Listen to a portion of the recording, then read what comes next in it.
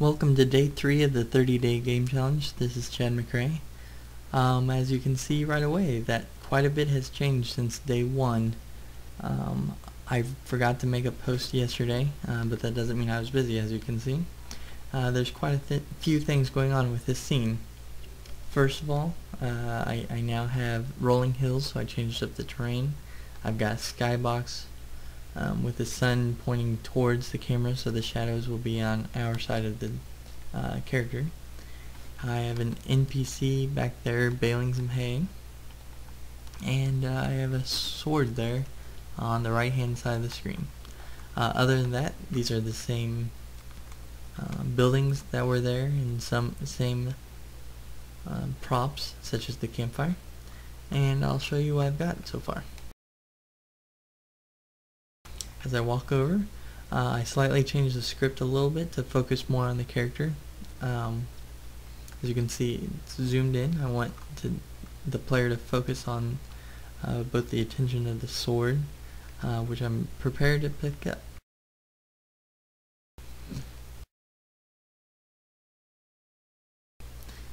So as you can see, he picked up the sword. Uh, it played an unsheath sound, and then uh, as I hold control, which is unfortunately also my microphone key, uh, a, a, sound of a swing, of him swinging the sword plays. Um, I'll, I'll, hit play, and uh, I won't be able to talk while I'm playing, um, but you'll be able to see that his walk animation has also now slightly changed that he has picked up a weapon.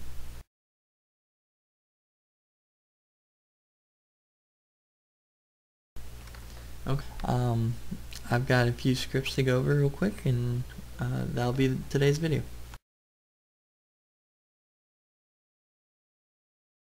Okay, this is the first new script I've created.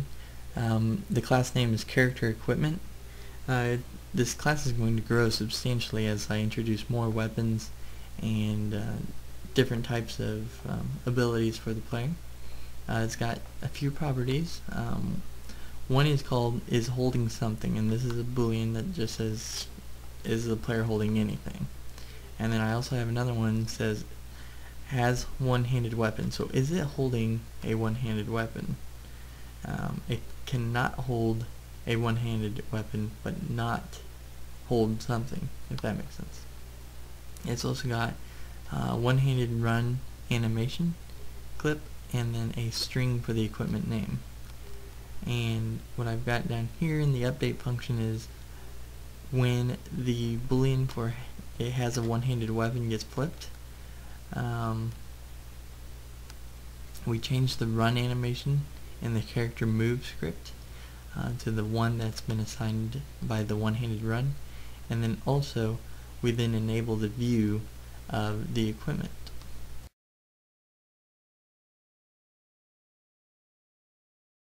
So if I go into the character move script, it's slightly changed. I removed the hard-coded um, animation names in some of the uh, attributes such as the animation play speed. Um, I'll, I'll, just go ahead and get started with one of the first methods. Hero attack. So whenever the player presses the fire 1 um, button, which in most cases is your left mouse button or the control button, uh, the engine will find the player with the equipment and check to see if it's holding something.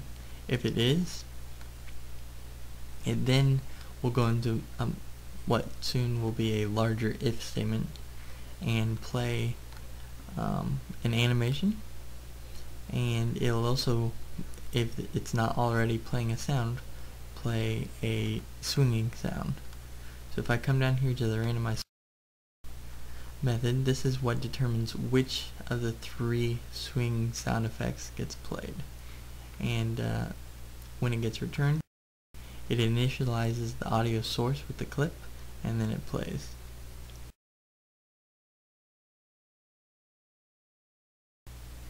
So here you can see um, where I've removed the hard-coded values in the play animation um, method and I'm using runanim.name. Uh, and remember, in the character equipment, this run animation actually gets changed. And I reference a animation clip instead of a string, which makes the whole process a little cleaner.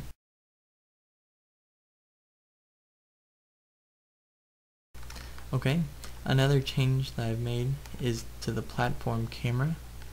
And instead of um, just simply modifying the camera's position, I am now also modifying the field of view. Uh, this makes a cinematic feel to the transition, not just a, you know a dolly rig where you're moving the camera, but actually adjusting um, the field of view. Of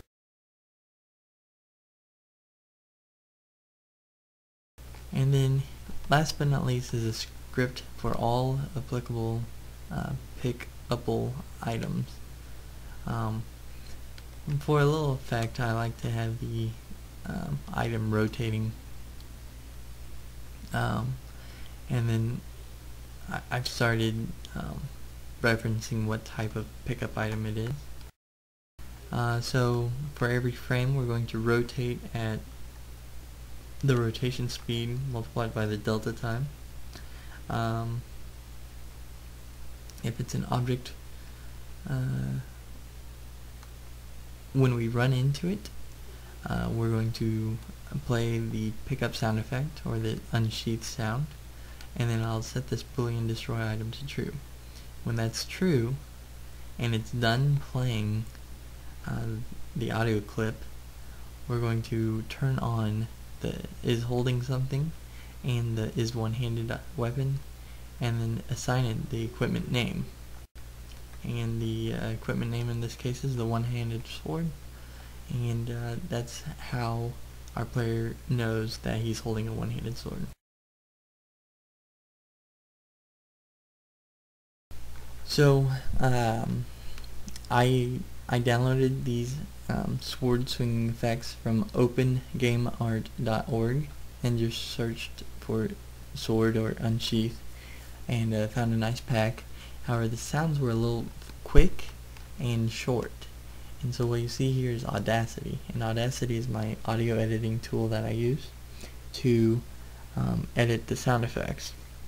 And what I did is I moved a delay in front of the sound so then the uh, swing sound won't play until um, about a third of a second into the swing.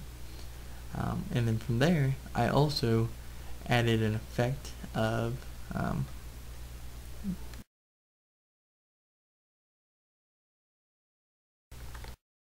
of change speed. And uh, what that does is it kind of slows down the sound effect and gives a deeper uh, sounding, a, a, deeper sound like almost it's slow motion.